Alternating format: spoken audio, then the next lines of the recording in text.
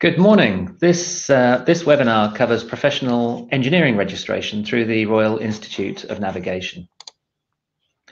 The Institute of Navigation has a vision to be an inclusive group of diverse disciplines working together for a more navigable world.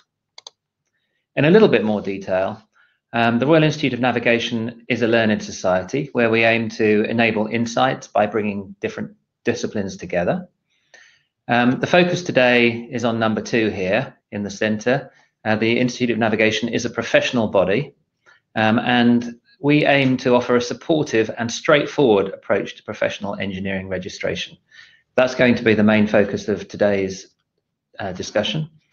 And uh, finally, we really aim to be diverse and inclusive, offering an environment where everybody is welcome at the Royal Institute of Navigation. So registration through the Royal Institute of Navigation. Uh, the regulatory body for the UK engineering profession is the Engineering Council. The Engineering Council sets the standard and licenses entities to become professional bodies and uh, manage registration effectively on their behalf. We specifically are offering registration to chartered engineer, incorporated engineer, and engineering technician. This is a simplified diagram, but I hope it'll give you a feel for the process that uh, needs to be followed to achieve registration. Um, the first step is some form filling. Uh, it's important to demonstrate competency and also provide written evidence. Uh, and and to, linked to that, we can provide mentoring support. In the center of the screen here is the review stage. Um, so once an application has been submitted, the registration committee will review the application and then consider whether or not uh, to pass that forward for what's called a PRI, a professional review interview on the right hand side here. And if all that goes smoothly, professional registration um, can be achieved. So what actually do you need to demonstrate? Well, I mentioned competency and commitment. And um, this document here, the UK spec, so although it sounds like a specification, it actually stand, it doesn't stand for that. Um, it's the UK standard for professional engineering competence, known as UK spec. And well worth downloading, well worth reading uh, and dipping into. Um, it, it covers the competency and commitment that's required to, to become a professionally registered engineer. Um, these are, in top level summary, the competence areas. And you can immediately see that they're not all technical. So the objective of professional engineering registration is to, uh, to have the engineering profession recognized as rounded contribute as a rounded contributor to, to society. Um, and although technical capability and competency are important, uh, competency A and competency B here, you can also see that competencies C, D, and E are much more about the engineer as a manager and as a communicator, and ultimately as a contributor to the profession and to wider society.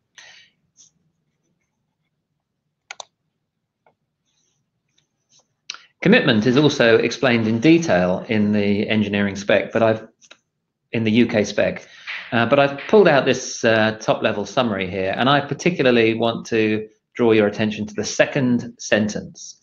So commitment is a requirement to show that a registered engineer has adopted a set of values and behaviors that will maintain and enhance the reputation of the profession.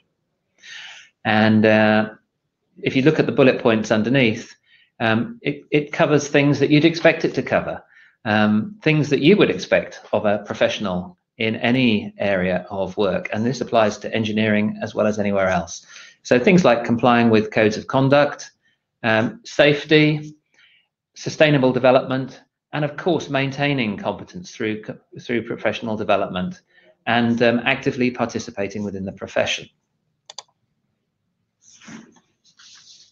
So where to start? How do you get going if you're thinking about uh, going down a path of applying for professional registration.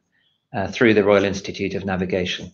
Well, I would recommend the place to start is to have a look at the UK standard, the UK spec. Uh, don't read it from cover to cover, but do dip in, and particularly dip in and read the introductory descriptions for engineering technician, incorporated engineer, and chartered engineer. There's a, a paragraph within the UK spec on each of these. And as you read those paragraphs, you will determine for yourself which um, of the three types of registration you are best fit for. I've put some one-line descriptions here, but really start with that and think about yourself and your competency and your commitment and how you fit with the descriptions that you can read within UK spec.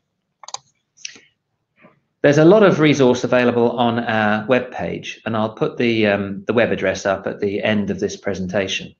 Uh, but you can see on the right-hand side of the bar, professional registration, all of the uh, application forms and the UK spec itself are all accessible from this, from this page.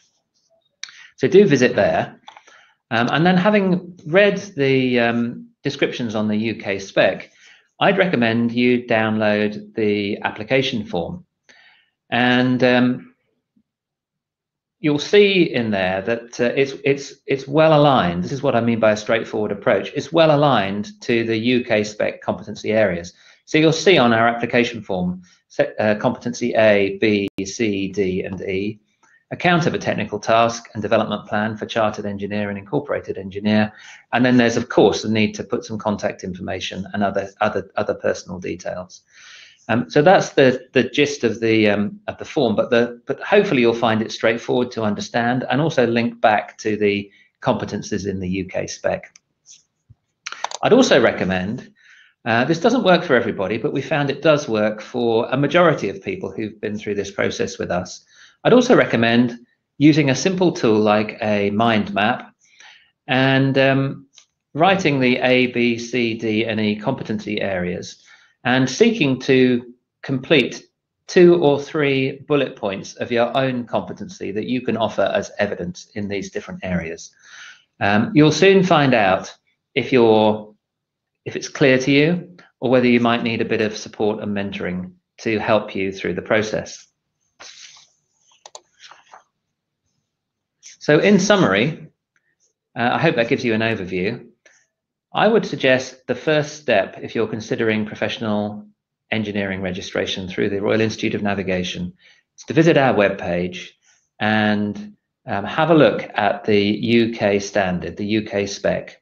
Read the um, read the descriptions of chartered engineer, incorporated, incorporated engineer, and engineering technician and consider which registration fits you best. You can see there's an asterisk on this point. Um, we can arrange, very happy to arrange, a call with a RIN mentor. And in any case, I'd really advise you to contact us, um, Edward Curtis, and uh, email and telephone there. Let us know that you're going through this process, and we'll work with you to support you uh, as much as you need. You can then start to map your own experience, competencies, and knowledge against the UK spec areas, maybe using a mind map as I described, and that will then take you forward towards completing an application and, um, and on from there uh, through the assessment process. Here, as I promised, is the web address. Uh, and we really hope you found this video helpful and that uh, we'll hear from you soon. Please don't hesitate to get in touch. Thank you very much.